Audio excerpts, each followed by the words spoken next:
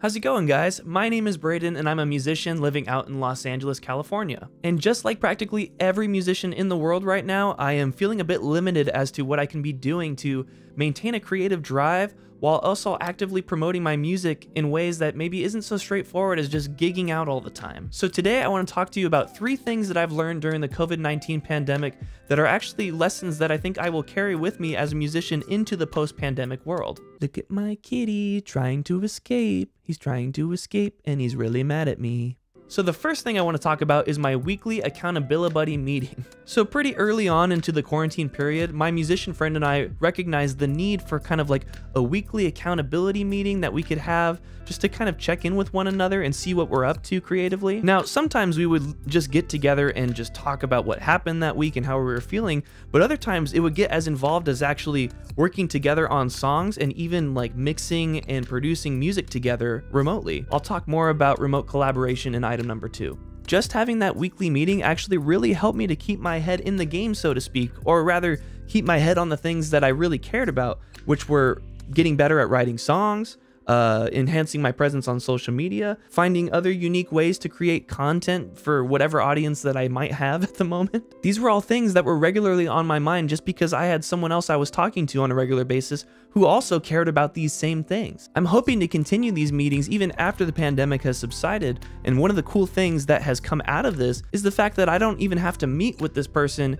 in person, even though I would probably prefer to, but if we can't make that work one week, we could always just meet over Zoom again like we did during COVID-19. Okay, so somewhat related is item two, which is remote collaboration. That's something that I think very little people had even thought to look into, myself included, until now. So most people are using Zoom as their web conferencing software of choice, and one thing that I set out to do early on was really figure out how to get good audio and visual quality into Zoom, but also I wanted to know how could maybe these same tools be used to increase the viability of remote collaboration over the software. So one super useful tool, if you're a musician and you have not yet downloaded the program Loopback, uh, I would recommend doing that right now. What Loopback allows you to do is take any audio really that's happening in your computer and route it to whatever place you want to route it to. So if you're using a digital audio workstation like Pro Tools or Logic or whatever, you can easily route that audio into your Zoom call. Zoom also has some features that are somewhat hidden that allow you to get higher fidelity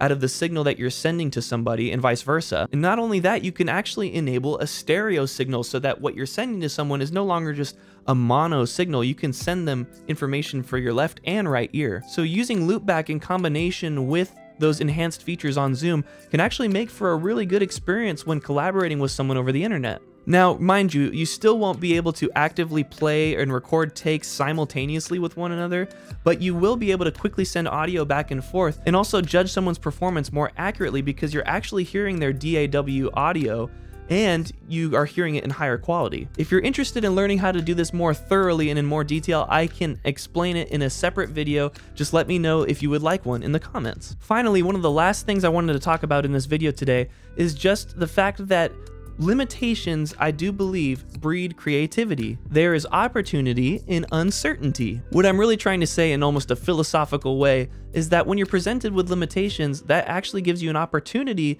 to be creative and think about other ways that you can present the material that you're trying to present. I've heard in other contexts that when you have writer's block, when you're trying to write a song and nothing is coming out, the best thing that you can do for yourself is actually impose some limitations on your songwriting, whether that's limiting the concepts that you can write about lyrically or limiting the chords that you use. Limitations breed creativity. One thing that one of the bands that I'm involved in did during this time was we created a video marketing plan to use over social media to promote a new EP and single and music video. There was very little else that we could think of to do at all, so we said, okay, well, maybe we'll just make more videos. Pretty quickly, actually, we came up with really interesting ideas for video content that I don't think we would have come up with if we weren't presented with the limitation that was we can't go out and play live anymore to promote our music. And not only did those limitations force us to make those videos, we actually learned about the fact that we can make videos like that in the first place. We each either became more aware of skills that we had and how we could apply them to the band and the content that we were making,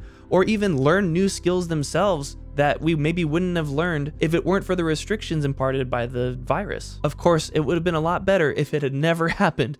I am not trying to say I am happy the virus happened, but I think it's good to take situations that you can't do anything about and rather than focus on what you can't change, instead focus on what you can do about it. That may seem like duh, I know, but sometimes it's really easy to get stuck in those just hopeless mindsets. Well, I think that does it for this video. If you found it helpful, please like, share, subscribe, do whatever you gotta do, put it on loop so that it helps me out with the algorithm. And please tell me in the comments below if you feel like there are things that you've learned from the COVID-19 pandemic. It doesn't even have to be music related. And again, don't forget to let me know if you'd like to know more about what goes into my remote collaboration over Zoom with my musical buddies. Thanks for watching, and I hope I see you next time.